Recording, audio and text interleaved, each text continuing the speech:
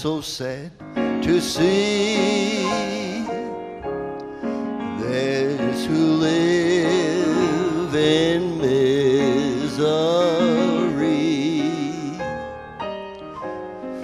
but in heaven no more grief or pain. Crib